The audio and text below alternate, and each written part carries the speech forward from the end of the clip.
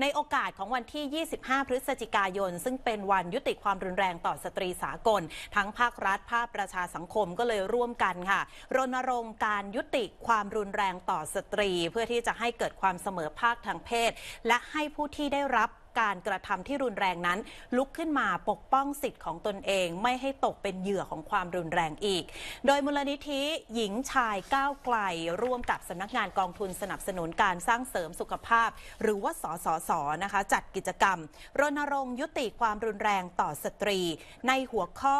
เจ็บ แต่ไม่ยอม ในโอกาสวันยุติความรุนแรงต่อสตรีสากล 25 พฤศจิกายน มีการเดินขบวนรณรงค์ไปตามพื้นที่ต่างๆ ค่ะ ไม่ว่าจะเป็นที่สวนสันติภาพ ถึงอนุสาวรีย์ชัยสมรภูมินะคะ เพื่อเป็นการรณรงค์ให้สตรีเนี่ยลุกขึ้นมาปกป้องตัวเอง ไม่ยอมตกเป็นเหยื่อของการถูกกระทำความรุนแรง แล้วก็มีความเชื่อมั่นในตนเอง มองเห็นคุณค่าของตัวเองเพื่อสร้างพลังบวกในการต่อสู้กับปัญหาที่เกิดขึ้น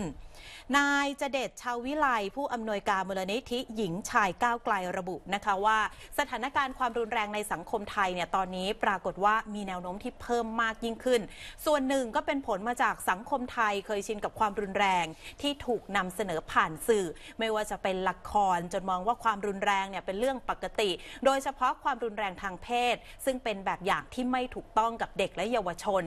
การรณรงค์ครั้งนี้ค่ะก็ต้องการลดความรุนแรงให้เกิดขึ้น โดยมีการเสนอให้กระทรวงศึกษาธิการ ปรับหลักสูตรการเรียนการสอนที่เน้นเรื่องของความเท่าเทียม การเสมอภาคทางเพศ แล้วก็เรื่องของการเคารพสิทธิ์ในร่างกายของทุกเพศอย่างจริงจัง เพื่อให้สังคมไทยในปัจจุบันตระหนักถึงความเสมอภาคทางเพศมากยิ่งขึ้น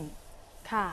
เราต้องไม่ยอมรับไม่ยินยอมในเรื่องของความรุนแรงนะคะถ้าเกิดว่าใครพบเจอในเรื่องของการกระทำที่รุนแรง ไม่ว่าจะเป็นเด็กสตรีคนชรา หรือว่าใครก็แล้วแต่นะคะ ก็โทรศัพท์ไปนะคะ แจ้งเบาะแสได้ที่ศูนย์ประชาบดีสายด่วน 1300 ตลอด 24 ชั่วโมงด้วยนะคะ